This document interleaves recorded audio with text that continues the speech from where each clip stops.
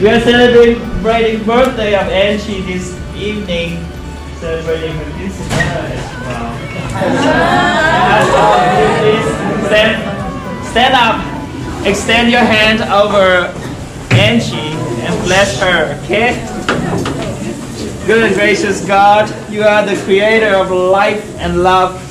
You grant us a friend, a daughter of yours, being our friend, our loved one. And I ask you, Lord, to grant your blessing upon Angie as she is celebrating her birthday today and her quinceañera. Grant her beautiful smile. She's smiling right now. and also grant her good and faithful friends to be surrounded and ask to grant your grace upon her so that whatever she decides to do in your name, may that be done in the power of Jesus Christ, who lives and reigns with you in the unity of the Holy Spirit, one God, forever and ever. Amen. Together we celebrate.